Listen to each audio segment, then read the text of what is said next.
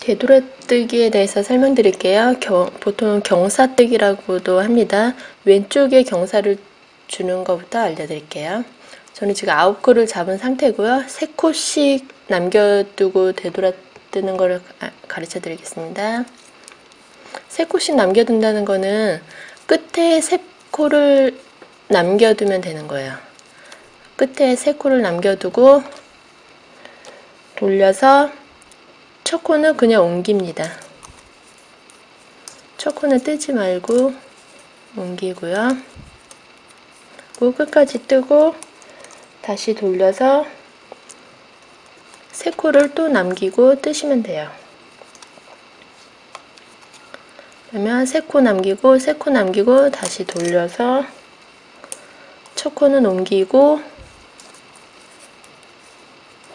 뜹니다. 이렇게 되면 왼쪽 부분에 이제 경사가 생겼잖아요. 이거를 그냥 겉뜨기로 뜨게 되면 이 부분에 구멍이 생겨요. 그래서 여기를 메우면서 떠야 되는 방, 떠야 되는데 그 방법을 알려드릴게요. 그냥 세 코를 뜨고요. 이 부분에서 이렇게 거꾸로 하면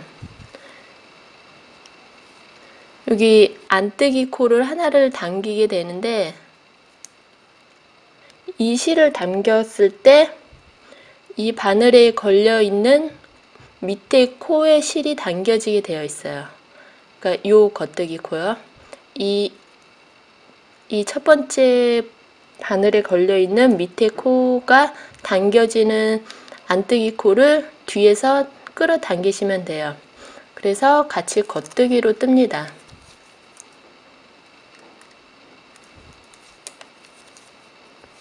여기도 마찬가지로 뒤로 돌려서 이렇게 조금 이렇게 툭 튀어나온 실이 있을 거예요. 그러니까 이 실이 당, 당겨지는 실을 끌어당기시면 돼요. 이렇게요. 첫 번째 코 밑에 있는 코의 실이 당겨지는 안뜨기 코를 뒤에서 끌어당기셔서 같이 겉뜨기로 뜨면 됩니다. 그러면 왼쪽은 이렇게 표가 안 나게 메어지게 되면 되는 거죠. 이게 뜨는 방법이 여러 가지가 있는데 좀 간단한 걸로 설명드렸습니다.